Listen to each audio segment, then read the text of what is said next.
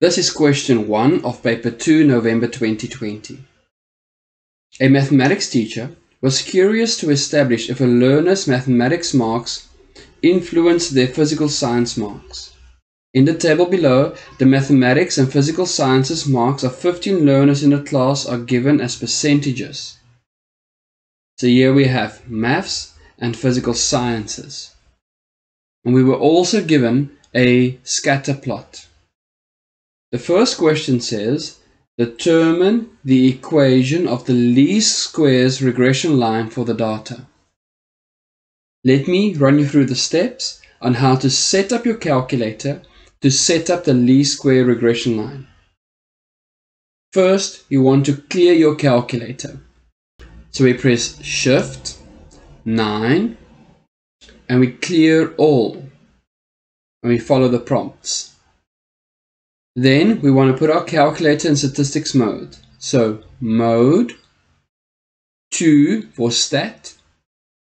And now we select the second option, which looks like the equation of a line. So that is 2. Now we enter the x and y values. We will take the mathematical results as x and the physical sciences as y. Now that I've entered all the information, I press AC and the calculator would clear.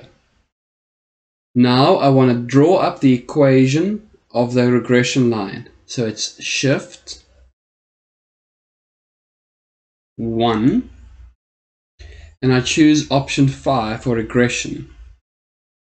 And then the A value is the first option. So A is 9.5. Then I need the B value, so I press AC, then Shift 1, regression again, and I choose the B value, which is 2,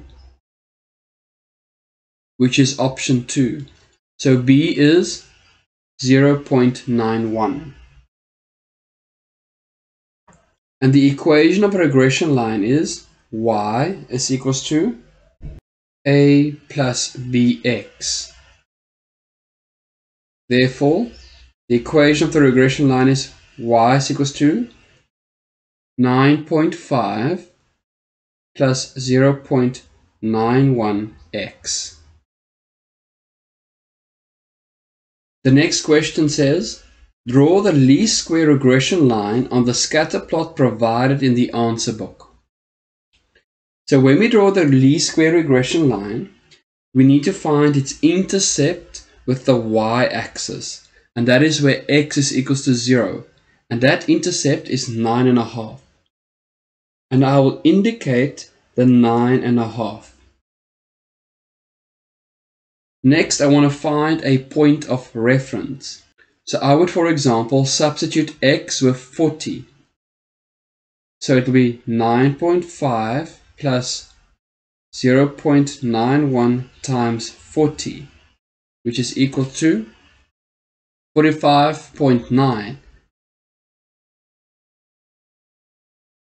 and we can make that 46 so where x is 40 I'll have a reference point at 46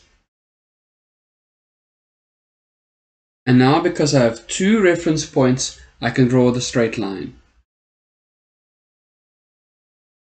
and it is good practice to name the line.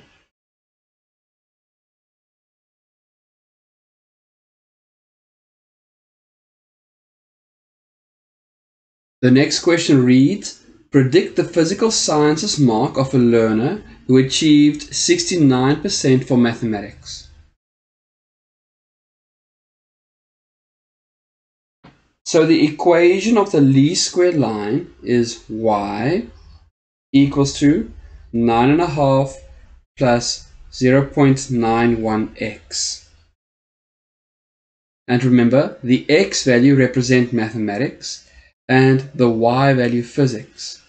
So in order for us to predict the physical sciences mark, we need to substitute x with 69. And that is 72.29%. 1.4 Write down the correlation coefficient between the mathematics and physical sciences marks for the data. So on my calculator, remember I've already entered the data points. So it'll be shift 1. I choose regression again, so that's option 5. And I select R for correlation coefficient. And I press equal. That is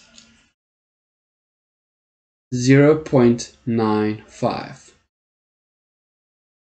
1.5 Comment on the strength of the correlation between mathematics and physical science marks for the data. So correlation coefficient will always be between 1 and negative 1. 1 represents a perfectly positive relationship and negative 1 is a perfect negative relationship. Now we can see this is 0.95, which is extremely close to 1. So we can say the relationship between maths and physical science marks are very strong and positive. 1.6 What trend did the teacher observe between the results of the two subjects? The teacher can conclude that the higher the learner's maths marks, the higher the physical science marks will be.